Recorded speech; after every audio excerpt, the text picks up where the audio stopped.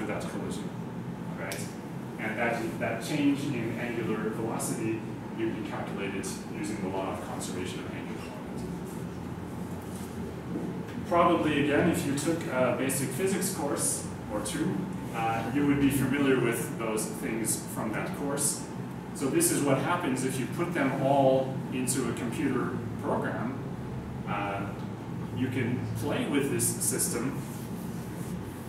And I'm going to show you just a couple of videos. So I, I didn't have time to program this one, but I'll show you what it looks like when other people programmed it. So let me show you, uh, let me start with that one. Sorry,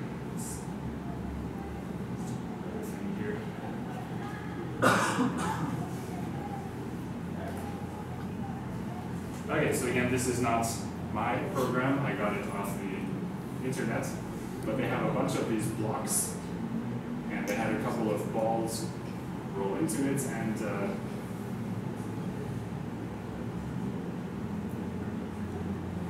so look at how real this looks. It's quite impressive.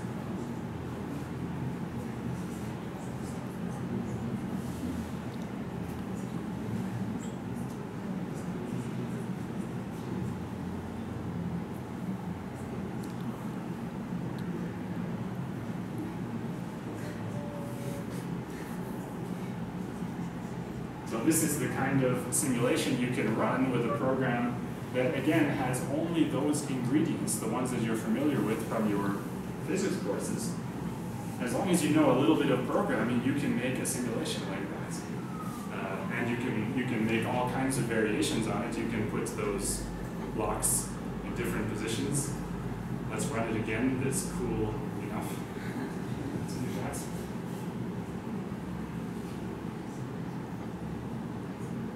So you can sort of see, it's, it's a lot happening at once, but you can see that when those blocks collide with each other, they bounce off and they change the way that they spin. Uh, when they hit the ground, the same thing.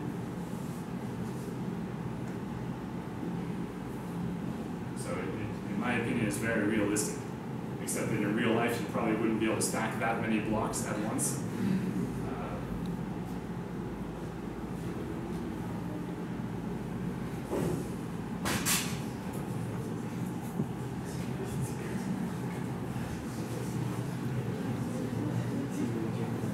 Let me show you another one.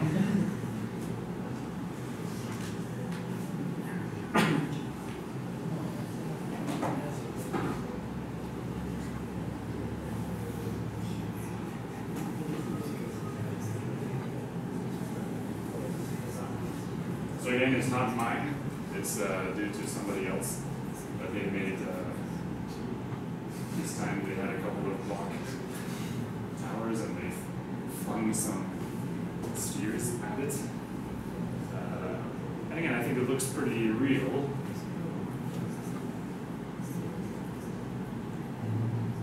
One more time.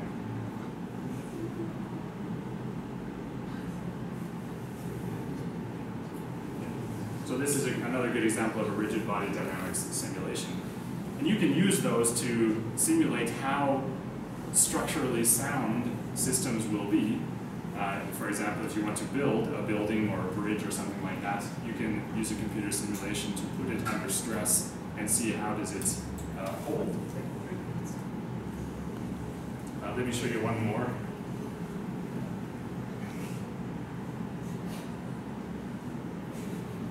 Okay, that's too fast for me.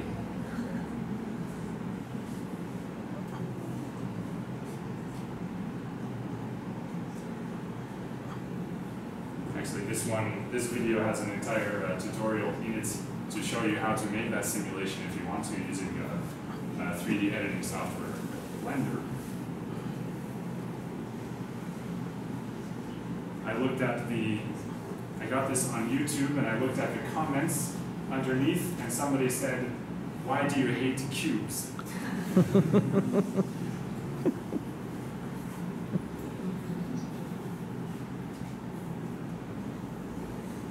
Okay, so I think that's all that I wanted to show you. So, thank you very much for your attention.